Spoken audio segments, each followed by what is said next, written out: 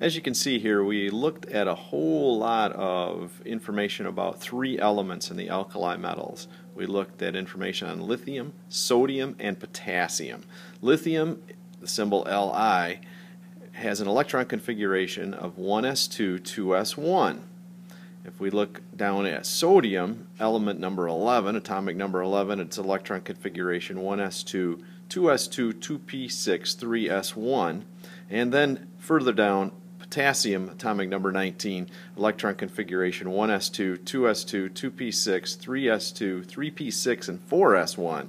You can notice all of these elements have as their last electron a s orbital that that one electron is in. So it's 2s, 3s, and 4s1 respectively. Now what this means is, is that the outside electron of all these elements, there's only one electron.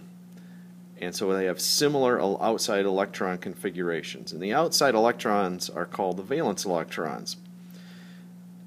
Looking just to the right of the 2s1, the 3s1, and the 4s1 are uh, diagrams of atoms the energy levels. Little dot in the middle next to the 2s1 is the nucleus of lithium, and then there are two energy levels. The first ring you don't see anything on, and those there are actually two electrons there, and those are the 1s electrons, so there's two electrons there, and then there is the second energy level which has one electron on it. If we look down at sodium, there are three rings, and the 3s one electron is on the third ring. It's just a lone electron out there. And then potassium, if you look there closely, there are four rings with the one electron right at the top of the P in potassium hydroxide, just below the rings. And uh, so that one is also just one electron. If you also notice, as you move from lithium to sodium to potassium, that electron gets farther and farther away from the nucleus. And that does play a role in the reactivity of these elements, how reactive they are. Now the next thing to notice is the chemical equation for the reaction of these elements, the alkali metals, with water. Lithium, Li, 2 Li, 2 lithium atoms plus 2 H2O, 2 water molecules, makes, that's the arrow, yields H2, hydrogen gas, and 2 lithium hydroxide molecules. You look at sodium, it has the same equation, except for sodium is substituted in for lithium. They form hydroxides, lithium hydroxide and sodium hydroxide, which are bases, which is a little bit of the opposite of an acid.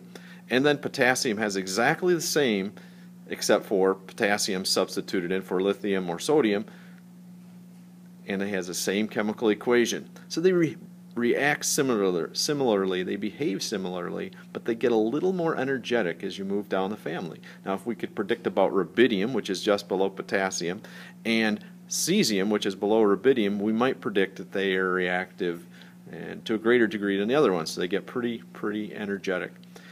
Now watch the other video and you can see what we're talking about in terms of energy.